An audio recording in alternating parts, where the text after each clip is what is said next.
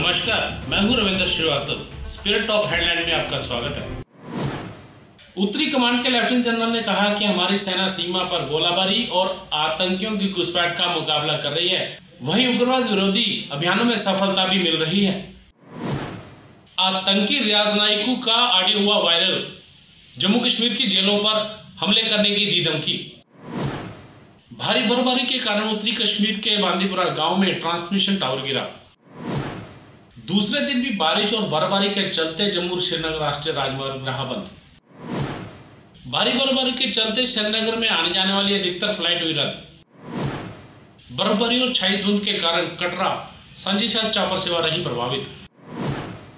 दो दिन से मौसम के बिगड़े मिजाज के कारण पुंछ और डोडा के पहाड़ी इलाकों में भारी बर्फबारी हुई